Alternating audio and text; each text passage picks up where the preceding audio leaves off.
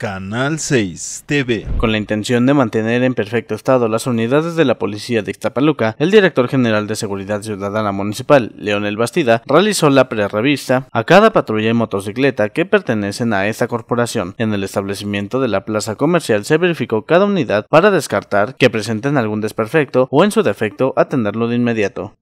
Es una prerrevista preparándonos para el día 16 que vamos a desfilar en todo lo que es la avenida Cuauhtémoc para concluir en Palacio Municipal.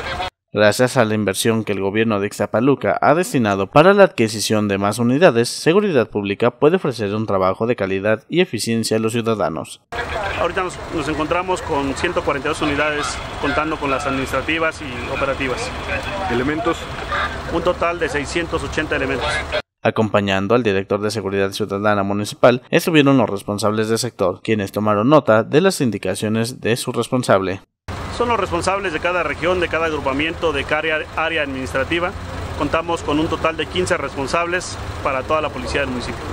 Para este próximo 16 de septiembre, gran parte de la Policía Municipal participará en el tradicional desfile que año con año se dispone por parte del gobierno local. ¿Cuántos estarán desfilando ese día? El contingente del desfile va a ser de cuatro secciones. Informando para Canal 6, Ricardo Arroyo.